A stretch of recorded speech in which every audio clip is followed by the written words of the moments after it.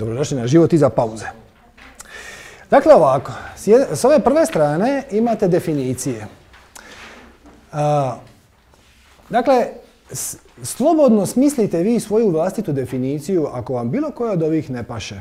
Ovo su recimo provjerene definicije koje se meni osobno sviđaju, šta ne mora znači da baš svaka od njih rezonira sa vama.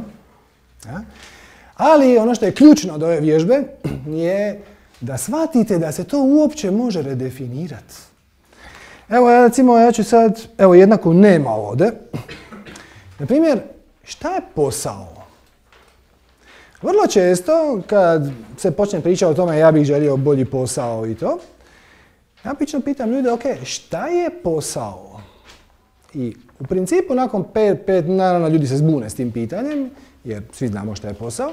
Međutim, nakon par itera, pod pitanja dođemo otprilike do sljedećeg.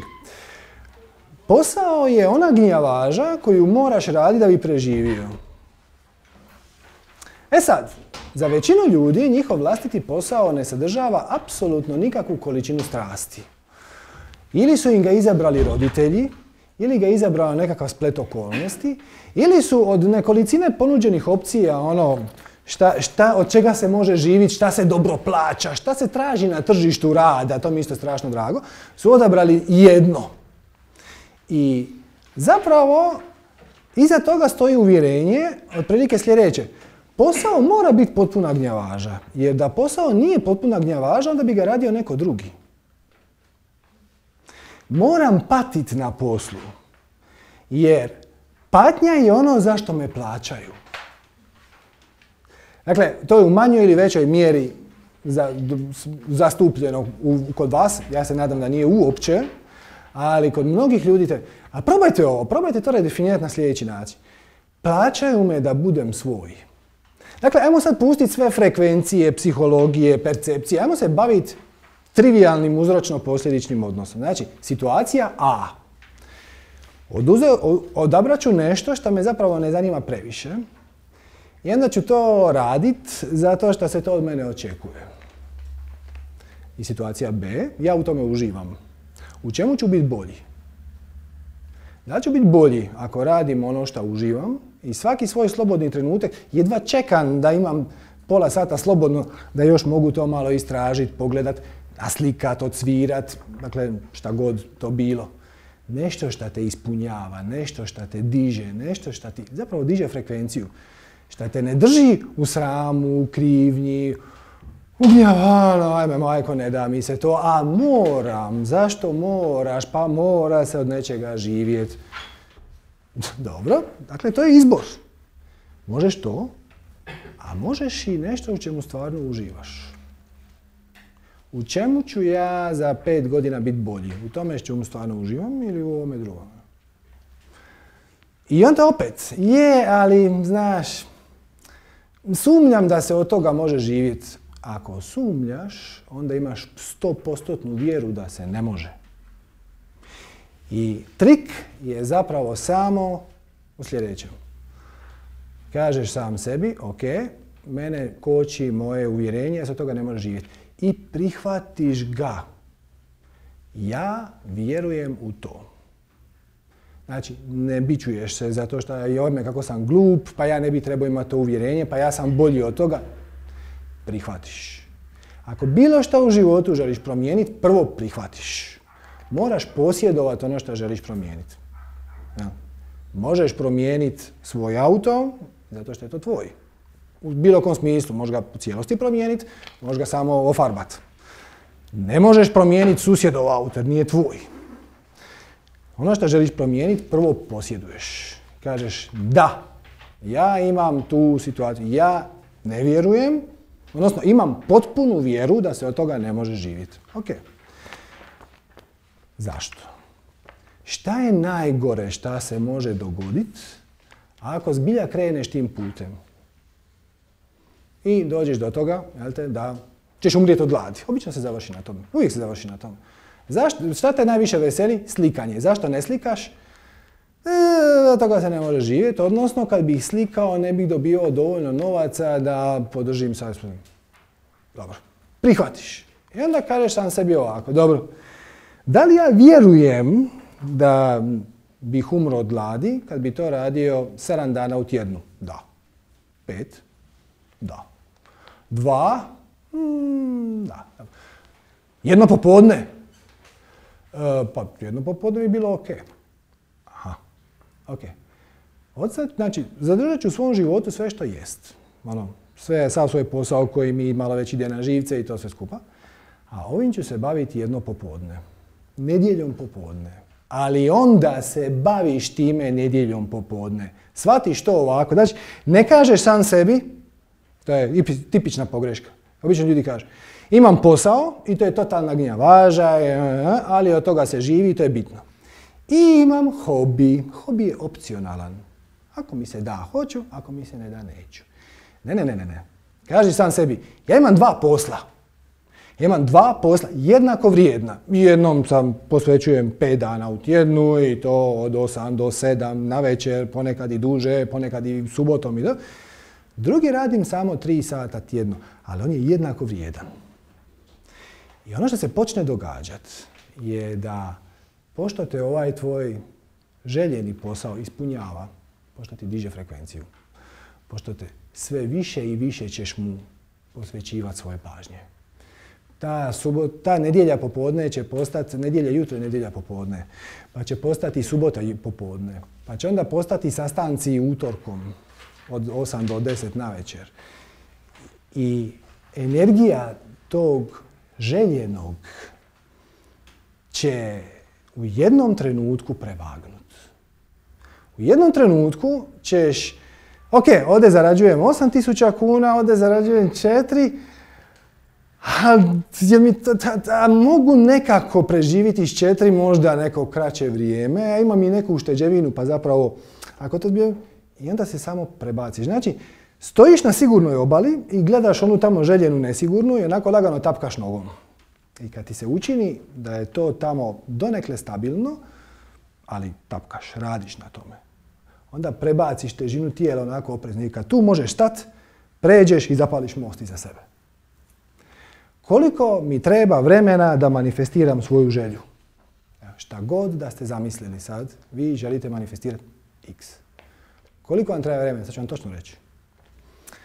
Je li deset godina više nego dovoljno za to što ste zamislili? Sad kažete, je. Je li pet godina više nego dovoljno? Je. Je li tri godine više nego dovoljno? Je. Je li dvije? Ne, između dvije i tri. Je li dvije i pol više nego dovoljno? Pa između dvije i pol i tri. Zapravo se sve svede na tvoje uvjerenje i ovo radi zaprepašćujuće točno. Možete probati na nekoj sitnoj stvari. Na nečemu što ćete sigurno manifestirati unutar tri mjeseca, šest mjeseci, godinu dana. Ono, da li je 30 godina više nego dovoljno? Je. 20. Da samo skraćuješ. Ona je čas kad lagano zastaneš. Pa, to je to. Između onog što si prije rekao i ovog. I ako ti je to puno, možeš ubrzati proces tako da potražiš uvjerenje koje te koči. A evo nekih. Tko žuri, vrat lomi. Strah glavu čuva. Šta to znači? Samo oprezno. There is no such thing. Dakle, ne kažem uđite u besmisleni rizik. Ako vjerujete da je to besmisleni rizik, onda jest. Dakle, ne kažem skočite sa 15. kata jer ja duboko vjerujem da, će, da meni neće biti ništa. Jer ne vjeruješ. Ako si iskren prema sebi, ne vjeruješ da ćeš skočivši sa 30. kata ostati u komadu. Da ćeš onako mekano amortizirati da će ti narast krila. Dakle, ne vjeruješ. Nemoj se boriti sam sa sobom. Prepoznaš i sad kažeš, ok, polako ali sigurno. Ok, šta znači polako ali sigurno? Ja ću vam nešto to znači. To znači sljedeće, ja sam zaključio da ću sad nečim baviti polako ali sigurno. I onda jedan dan se dogodi sinhronicitet. Od jedan put mi neko ponudi to što ja želim ili veliki korak prema tome što ja želim. I umjesto da ja kažem da, hvala, super, ja kažem hm, ali ja nisam dovoljno iskusan, ja nisam dovoljno, još nije vrijeme za to, doće vrijeme za to. Pa znaš šta ja možda ipak rađe ne bi. To je ono što se dogodi. Pustimo sad sve uvjerenja, gledamo to ono, kao što ova kamera snima, potpuno objektivno. Kamera ima objektiv, zato je ona objektivna. Situacija A je, a zašto ti ne bi došao ovo predavanje održati, to ću ja lupiti, na filozofskom fakultetu. Sad ja kažem, a, super, zašto ne? Ili B, pa nije ti to baš na tom nivou, znaš, Možda, možda su ti studenti na filozofskom malo prenapredni za takvo gradivo. Nisam siguran kako će to njima svidjeti. Ima tu dosta fizike. U ovoj situaciji će se to dogoditi. U ovoj situaciji se to neće. To može biti ono, ovoliko sitno uvjerenje. Nisam dovoljno dobar, nisam, nemam dovoljno iskustva, premlad sam, prestar sam. To ne priliči udanoj ženi, to ne priliči oženjenom muškarcu, to ne priliči starijem, to ne priliči mlađem. Koga briga? Dakle, opet, u skladu s vašim uvjerenjima. Hm? Vi pronađete uvjerenje, recimo, i onda ćete možda reći da je to sasvim ok. Ono, ja stvarno vjerujem u to i neću to popravljati. To je isto u redu. Evo na primjer, recimo tuširate se i sad izađete iz tuša, onda još se brišete ručnikom i neko zvoni na vrata. Bez ikakvog razmišljanja ćete, ako odlučite uopće otvoriti vrata, bez ikakvog razmišljanja ćete nešto nabaciti na sebe. Jer smatrate, imate uvjerenje da nije ok nepoznatim ljudima otvarati potpuno gol. Osvijestiš to uvjerenje i kažeš da. To, ja, ja stvarno vjerujem u to i ne vidim zašto bi to popravljao. Sve ok. To je jedno od onih koje nema zašto popravljati. Nema zašto popravljati uvjerenje da ćeš sutra ujutro probuditi. Nemaš zašto popravljati uvjerenje da će gravitacija funkcionirati. Nemaš zašto popravljati tako da ako te udari kamion da će, da će ti biti ozbiljno loše. To su, to su sve kvalitetne uvjerenja. Ali ako uloviš sam sebe, kako misliš, pa znaš šta, nije to još za mene jer nemam još ja tu dovoljno iskustva. A, mislim, a kad ćeš imat? Ja sam, kad sam položio vozački, dobio sam spektakularan savjet od svoje obitelji. Rekli su mi, Sergio, molim te, nemoj voziti dok malo ne, ne uloviš rutinu. Dakle, od riječi do riječi ja se uopće ne šalim. Ja sam gromoglasno se nasmijao. A oni su me pogledali, e, e, ono, naš, oprezno. Šta znači oprezno? Pa naš malo po parkiralištu, pa ok, ali mislim, upravo sam položio vozački i u sklopu tog vozačkog sam vozio po cesti. Neće mi ništa pomoći da malo vozim u krug po zemljanom parkiralištu. Neću tako steći rutinu. Jednostavno neću steći rutinu. Tako što ću biti maksimalno pažljiv, naravno, ono, znam da sam neiskusan, neću ići voziti umoran, neću ići voziti šta god. Trudit ću se da to baš ne bude ni u sumrak kad je najneugodnije, kad je sunce u oči, sve, sve, sve, sve to ok. Ali ne možeš uloviti rutinu dok se time ne počneš baviti. Ano, nisam ja dovoljno dobar za to. Nema mi dovoljno... Polako, polako, ali sigurno. Ko žuri, vrat lomi. Izvrsno. Svijet je opasno mjesto. Ja to ne zaslužujem, ne može se od toga živjeti. To je zapravo sve samo strah od neuspjeha. Šta je neuspjeh? Stranica prije. Isključivo je znači jednu stvar, potpuno odustajanje od početne namjere. Dakle, recimo da se vi sad odlučite početi baviti slikanjem. Naravno da ćete za deset godina biti bolji nego sad. Ali nećete ako ne počnete. Svačate kokoš jaje.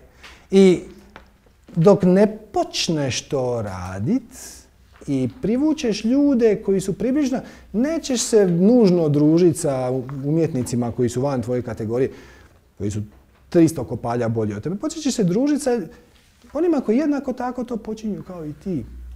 I onda ćete se vi nekako podržavati. I onda, onda ćeš na kraju shvatiti da te zapravo slikanje ne, uopće ne ispunjava toliko koliko te ispunjava i kreiranje scenografije za dječje kazalište. Samo se pustiš. Dakle, o tom pozitivnom dijelu ćemo sljedeći put. Danas je zapravo, ovo je, actually, ovo puno važnije, odnosno praksa je pokazala da je 90% problema su, je sadržano u definicijama. Jer jednom kad dovoljno počistite svoje negativne definicije da krenete u željenom smjeru, brzinom od 5 km na sat, osjećat ćete se kako se krećete i onda će vam to dati hrabrosti da ubrzate na 10, na 15, na 20 i tako dalje. Dokle god stojite u mjestu, to je beskrajno frustrirajuće. Nema gore stvari, nego reći, je, moj život je grozan, zapravo mi se ne sviđa, ja bi nešto skroz drugo, ali ha, šta se tu može? Znate što će se dogoditi? Ništa. Ostaće tako ko šta je, do vječnosti. Ako vam se to sviđa, sve ok, nikakav problem. Da li želiš živjeti u strahu? Želiš? Ok, sve u redu. Da li želiš biti neispunjen i nezadovoljan? Pa, ja želim. Dobro, samo izvoli. Druga, druga kategorija, to je nazvana ovdje mučenik. Život je patnja, uspjeh je težak, a ime ova mi je draga. Za sve se moraš namučiti, to no pain, no gain, bez muke nema nauke. Drugim riječima, sve što mi dođe jednostavno ću spontano odbit. Hm? Nisam se dovoljno namučio. Ja sam htio nešto i sad mi se otvorila su mi se neka vrata. Nije to slučajnost, to se zove sinhronicitet. O tome ćemo pričati puno više sljedeći put. Kad ste u dobroj vibraciji, selite se u one paralelne realnosti koje odražavaju vašu vibraciju, a one već sadržavaju okolnosti koje vi želite. Što u prijevodu znači ti se počneš time baviti i s neba ti padne ponuda ono wow. A ako imaš uvjerenje da se za sve treba izmučit, a nisi se za ovo dovoljno izmučio, velika je šansa da ćeš reći, pa znaš šta, meni tu nešto smrdi. To je neki trik. Sigurno tu ima nešto sitnim slovima. Hm? Jer za sve se treba pomučiti. Za ovo se nisam pomučio, dakle, ima neki razlog zašto je to meni palo u krilo i on sigurno nije dobar. Sumljam da je dobar. Ne vjerujem da je dobar. Sve znači jednu istu stvar. Potpuno sam uvjeren da nije dobar i ja to samo neću. Da je lako, svako bi to radio. Svatko od vas je genij za nešto. I baviti se s onim što ti apsolutno ne leži je neopisivo teško. Baviti se sa onim što ti leži je beskrajno jednostavno i samo ti izlazi. Imate ljude koji ono, nauče strani jezik u mjesec dana. Neko drugi ga uči cijeli život i ne makne se s mrtve točke. Neko uzme bilo koji instrument i samo počne svirati. Svako je genij za nešto. I ako imate uvjerenje da, da je latko, svako bi to radio, to je vrlo, vrlo razumno i racionalno uvjerenje iz vaše perspektive. Meni jako lako ide programiranje, samim time ja to radim s lakoćom, ali brate kad treba, ne znam, dekorirati sobu, nemam pojma. I sad, ponude mi da programiram, što je zapravo samo izlazi iz mene, ali pustiti, meni je to lako, da je to lako, svako bi to radio, znači to je sigurno teško. Tu, tu ima neki problem i onda to odbiješ. To ne, nekako se od toga makneš i pusti ti to. Znaš, no, to što su meni sad ponudilo, meni izgleda lako i jednostavno, ali sigurno nije. Jer da je to lako, svi bi to radili, ma ne bi. Ne izlazi to svakome, to tebi izlazi. Hm? Ne živi se od ljubavi. Ne možeš imati sve. Ne možeš imati sve. Da, ne možeš. I nema veze. Možeš imati sve što želiš. Ne možeš imati sve, to je točno. I niti, niti bi htio imati sve. Misliš, šta će mi sve? treba, mi, treba mi ono što mi treba. Znate, onaj vic, vic je dugačak i nije uopće bitan, ali ima, ima jedan moment unutra, a to je čovjek koji je ovaj, dobio od čarobne lampe mogućnost da u svakom trenutku u džepu ima točno onoliko novaca koliko mu treba. I sad, znate, ono, dođe u dućan i sad ovi tamo kaže 57 kuna i 63, on samo ako dođe kune, 57 kuna i 63. I dođe u restoran i kaže 215, 215. To je, to je prava stvar. Šta će ti 300 milijardi? Treba ti onoliko koliko ti treba. Da bi imao obilje, moraš imati, znači to je mogućnost da napraviš ono što trebaš napraviti u trenutku kad to trebaš napraviti. Nema nikakvih para tu. Može biti, znači ponekad je, su novci možda najjednostavniji način, Možda su čak i jedini način da ti sam to napraviš, ali postoje drugi ljudi, pa se možeš s nekim povezati, pa Postoji milijardu kombinacija kad otvoriš oči. Ali ako zabriješ da je jedini način da ti imaš te novce, to je tvoje uvjerenje i to za tebe postaje istina. Šta god vjeruješ, za tebe postaje istina. Ako vjeruješ da ti treba 500 milijuna kuna da bi bio sretan, neš bi sretan dok dobiješ 500 milijuna kuna garantirano. To nema nikakve veze ni sa 500 milijuna kuna, ni sa bilo to ima samo veze sa tvojim uvjerenjem da ne možeš biti sretan dok. I pokušavajući dostići taj cilj, uloviš se u tome da si imaš sram, imaš krivnju jer to još nisi dostigo, pa onda imaš strah da ti se to nikad neće dogoditi, pa imaš žudnju, čežnju, želju da, to da se to dogodi šta prije i u kojem od god tih stanja da se nalazi, ta može biti kombinacija, manifestirate cijeli taj paket. Ako imate sram zato što niste dovoljno dobri ili krivnju zato što niste završili fakultet i još na to dodaš želju da budeš strašno bogat, manifestiraš jedno i drugo. Vraćati se stalno dokazi da si bezrijedan zato što nisi u stanju postići svoj cilj, želja, zbog toga šta nemaš fakultet, šta je sram krivnja. I sad se samo zapite, je li stvarno ist vrijedi da ja ne mogu biti sretan ako nemam faks? Naravno da ne. Postoje milijuni, milijarde ljudi na svijetu koji nisu završili fakultet i dobro im je. Nekom manje, nekom više, ali to nema apsolutno nikakve veze sa, nema nikakve korelacije između sreće i imanja fakulteta.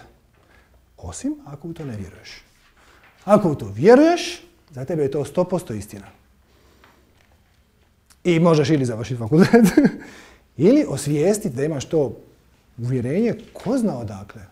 Mislim, kad se to dogodilo? Jesu to roditelji? Je to društvo? Jesu to prijatelji?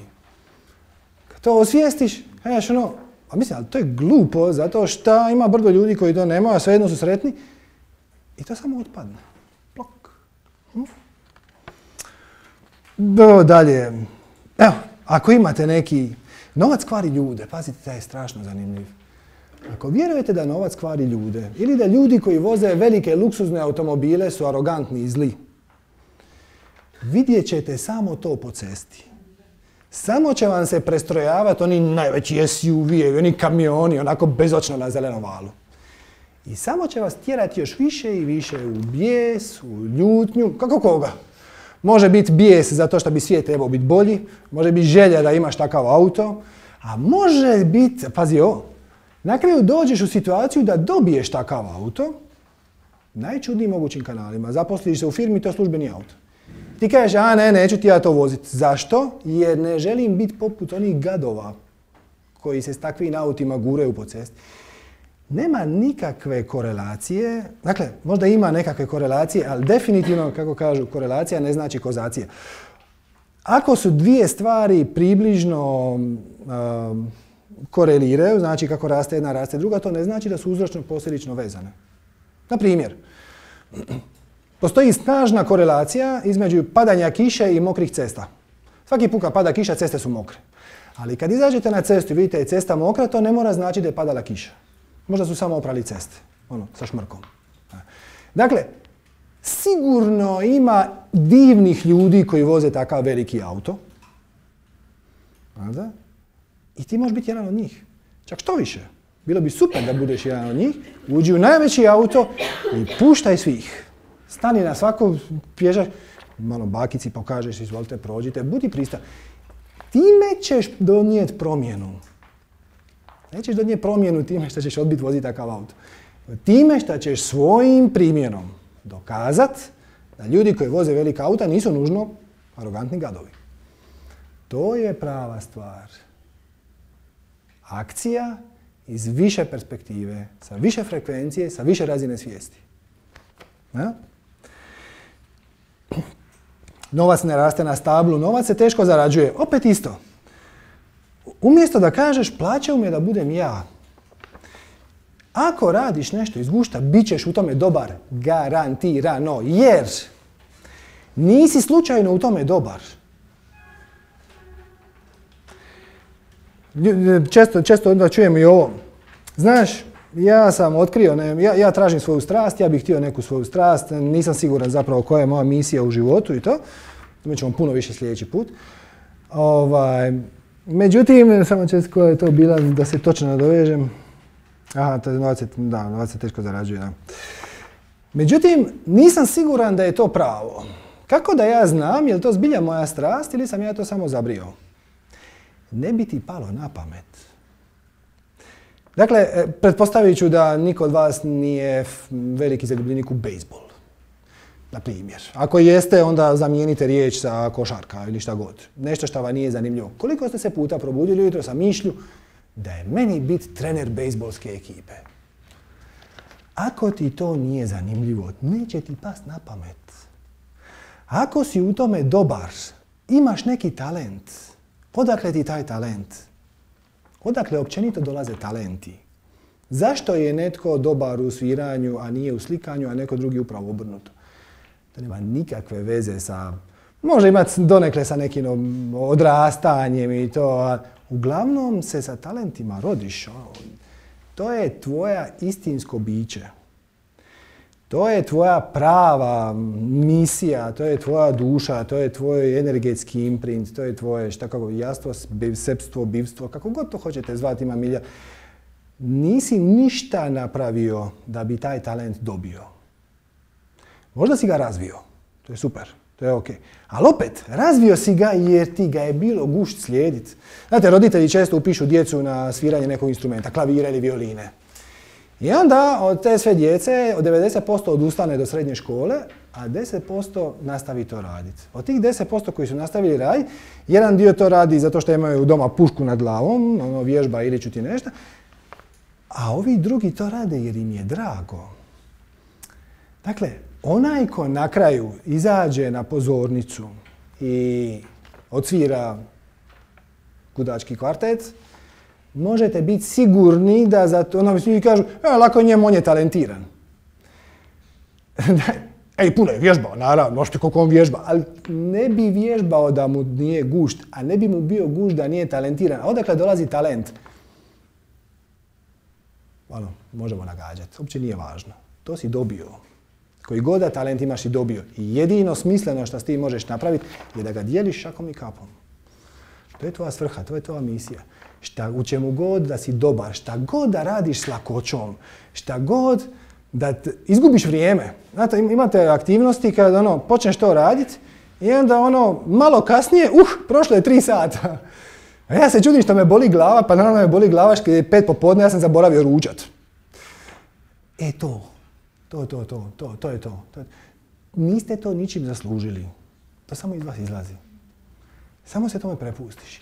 I ako imate to, a istovremeno imate i uvjerenje kao na primjer, slijediti svoju strast je sebično i neodgovorno prema drugima i što će drugi reći, i to je neozbiljno i to ne priliči odraslom muškarcu, mladoj ženi, mladoj majici, staroj ženi, staroj gospođi, djetetu, šta god da uvrnete sebi u glavu. A kako bi vam rekao? Svemir vam nudi, a vi kažete neću hvala, onda on ponudi opet, a vi kažete ma nešto možda ipak ne bi, ali, ali bit će ti ovo super. Ma je, ali znaš, to je komplicirano, mislim, zato bi trebao još ima to, to, to, to i to. I onda kažemo, kažemo dobro, evo ti to, to, to, to, ma je, ali znaš, možda neki drugi po... A dobro. A onda ništa. Sve, znači, kako je to, Napoleon Hill, ispričat ću vam priču o Napoleonu Hillu ukratko. Napoleon Hill kaže sve što čovjek može zamisliti i povjerovati. To je ključno. I povjerovati može i ostvariti. Inače, Napoleon Hill je čovjek koji je tamo niti 920 i neke, bio siromašni student i onda je dobio posao u nekoj lokalnoj novinici. I uvalili su mu onaj najgluplji novinarski posao da ide okolo i intervjuira celebritije. To je ono dno dna koje dobiješ kad si na početku novinarske karijere. I onda je on, e, srećom, jel te, 920 e, i neke, bio je veliki gospodarski boom e, u Americi, koji je na kraju završio krahom burze 29. ali to od 24. do 29. bila je eksplozija. I celebrity su bili bogataši. I on je igrom slučaja dobio zadatak da intervjuira najbogatijeg čovjeka na svijetu u tom trenutku. Zove se Andrew Carnegie i bio je vlasnik čeličana u Americi. I Andrew Carnegie, valjda mu se ovaj svidio na intervju, mu je rekao ovako, da li želiš da ti otkrijem sve tajne uspjeha? On je rekao, da. Je rekao, ok, ali pazi ovako, neću te plaćat, nećeš imat ništa od toga, ja ti neću ništa reći, ja ću te samo slat. Znači, ja sam bogati utjecajan, ja ti mogu otvoriti vrata i kogo hoćeš. Hoćeš američkog predsjednika, nikakav problem. Kogo ti hoćeš, a ponekad ću ti ja dodat, ja ću te tamo poslat. Nemaš plaću, nemaš ništa, to radiš zbog te akcije same. Da, ne. I ovaj kaže, razmislio je 5 sekundi i rekao da. Kasnije mu je Kennedy rekao da si razmišljao još pet ospikarija biti, to znači da to nije tvoja strast. U svakom slučaju čovjek je intervjuirao sve industrijalce, Henrya Fonda, Kennedy-a i na kraju je iz toga izašla knjiga koja se zove Think and Grow Rich. Odnosno, misli i postani bogat. Misli i postani. Ne radi naporno i postani bogat.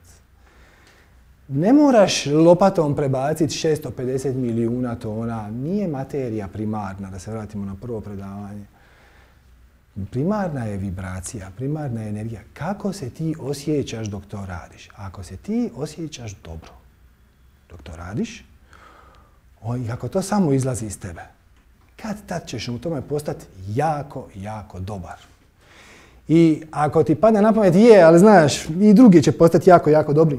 Neće, ako im to nije strast. Ako, im je to, ako ti je to strast, idi ti, ideš tim putem i bit ćeš jako dobar i onda će te i početi plaćati. Ne ide obrnuto. Moraš biti prvo na vibraciji rješenja. Ne bavit ću se onim što hoću kad. Jer to kad ima preduvjet da se prvo mora dogoditi nešto drugo.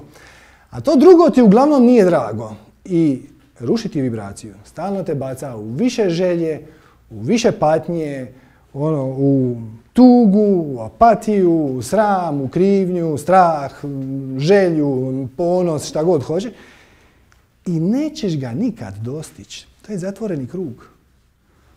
Možeš se ponekad prebaciti, pa onda savladaš svoj strah, bravo, i dođeš na frekvenciju želje. I onda si u frekvenciji želje. I onda ti se spleta okolnosti, dogodi da u nečem uspiješ, postaneš velika faca, postaneš ponosan. I onda prvi listić koji padne sa grane te obori natrag u sram i krivnju jer ti si velika faca, kako ti se mogao dogoditi taj neuspjeh? Sve dok ne prođeš onu famoznu crtu. Znači, kad dođeš na ovu crtu hrabrosti, onda stvari postaju samo osnažujuće. Treba se riješiti ovi niži. Šta ova crta zapravo znači? S donje strane, izra... sve šta želiš i sve šta osjećaš dolazi od vani. Znači, bijes ljutnja, bijesanci i ljuci na nekog jer izvana je. Ponos, prezir, drugi su glupi, ti si bolji od njih. To opet, opet je proizvod uspoređivanja. Znači, moja vrijednost u usporedbi sa svime oko želja, ja bih htio imati više od drugih. Mislim, šta znači više? Ako, dakle, mi danas svi imamo neopisivo puno više nego što se prosječan Grk imao u antičkoj Grčkoj prije 4000 godina. Jel? Prema tome, nije stvar u apsolutnim mjerilima, nego u relativnim. Ovo znači uspoređi, odnosno očekivati da tvoja sreća dođe izvana. Ovo gore je jasna spoznaja da tvoja vrijednost je beskonačna, baš kao i svakog drugog i samo o tebi, samo isključivo o tebi ovisi tvoja sreća, zadovoljstvo i uspjeh. Ako ga nemaš, ja te pitam šta te koči. Velika je šansa da je ovdje negdje. U nekom obliku. I nije to sasvim lako otkriti. Dakle, mi sad, jel te, u utorak krećemo sa manifestacijskom akademijom Super Ja, koja će biti u drugom prostoru na Svetoj Klari. To je ideja. Većina ljudi koji će tamo doći ovaj, je sve ovo čula. Neki i više puta. I svejedno imaju osjećaj da bi im život mogao biti bolji. Jer nose neku vjeru. To nije tako sasvim jednostavno. Ponekad ne znaš ni sam. Trebaš, bi, trebaš se baviti s time u smislu da postoje određene vježbe, postoje određene vizualizacije, postoje određene meditacije koje mi ovdje ne možemo voditi. Zbog različitih razloga. Trebaš pratiti sam sebe, moraš sebi dati zadatak. Sad ću ovo istražiti i ako to ne uspijem, pitaću, pa ću potražiti pomoć, pa ću dobiti dva pot pitanja, pa ću dobiti dodatnu vježbu. Dat si zadatak. Dokle god sam sebi ne daš jasan zadatak, ja želim da moj život bude bolji, uglavnom te nosi inercija. Jer okolnosti koje sad proživljavate su proizvod vaše vibracije od jučer i prekjučer i prije šest mjeseci i prije godinu dana i savršeno su logične. Znači zamku. Zamka je u tome šta god da misliš i vjeruješ oblikuje tvoju realnost i podržava tvoju sliku svijeta. Znači, tvoja slika svijeta u glavi uvijek savršeno odgovara vanjskim okolnostima. I imaš pregršt dokaza u navodnike u svojoj glavi da si u pravu. Jer gledaš i sve se savrše, sve si shvatio. Dok ne promijeniš vibraciju. Ali prvo moraš promijeniti vibraciju. Jer vanjski svijet je odraz tebe. Kad promijeniš vibraciju, na nekom procesu, neko vrijeme, se stvari malo miču i ljudi te čudno gledaju i jednima je drago što si se promijenio, drugima nije, treći ne primijete. Četvrti samo postanu bolji prema tebi i samo se malo se to tumba.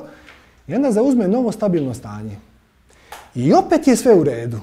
Samo si ti malo zadovoljniji. Ali opet si potpuno u pravu jer sve što vidiš odgovara tvojoj vibraciji. Sve će te zamku. Moraš sam sebi dati zadatak. Neki su u stanju to izve sami. Neki su u stanju reći, ok, ja ću sad to riješiti. I to znači intenzivno se monitorirati. Znači, u svakom trenutku, ili barem često, znati u kakvom si stanju.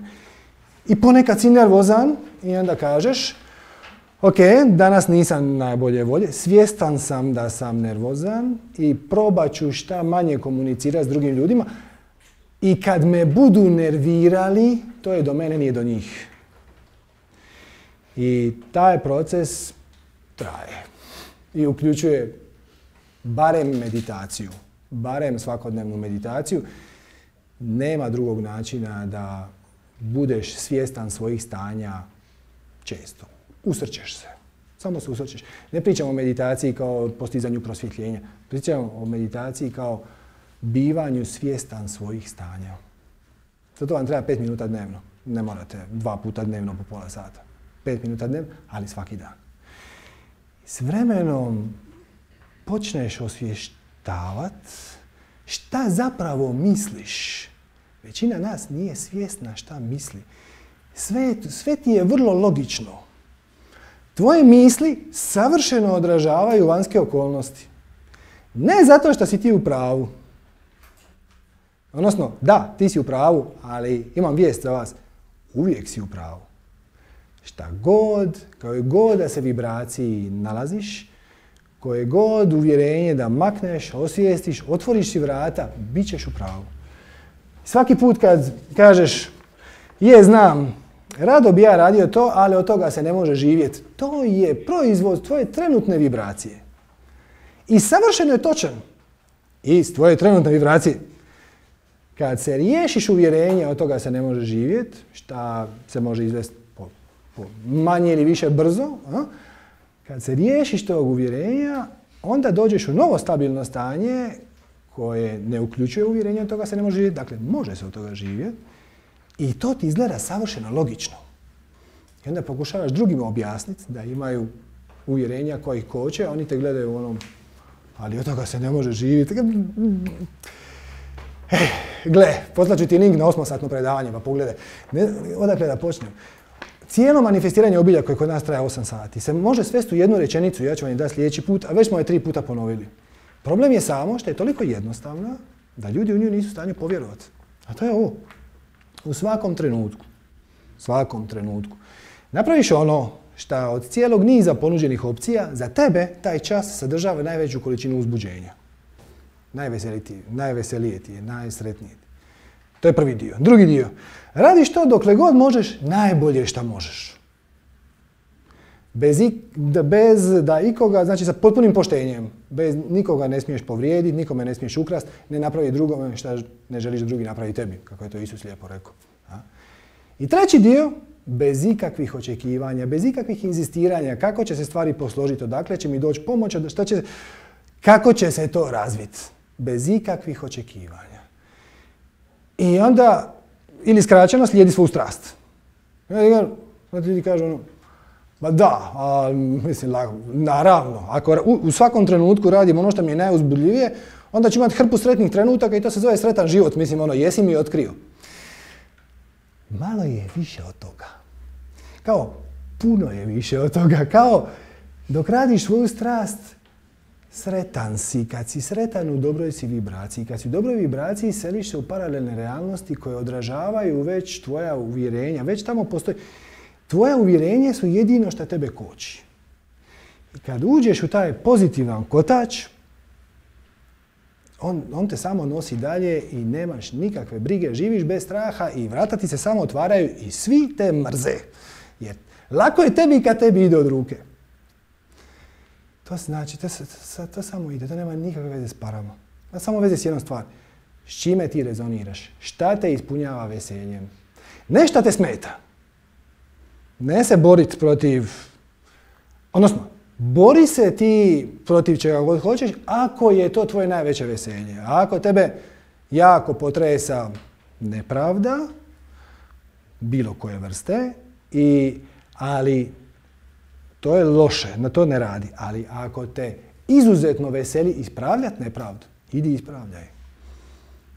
Ako te to, jer to će ti otvoriti vrata, to će ti upoznat, no, odvešće na, na, tvoj, na tvoj put, neće reći na pravi put, na tvoj put. Imaš dva načina da otkriješ neželjeno uvjerenje. Možeš ga iz pozitivne, možeš ga iz negativne perspektive.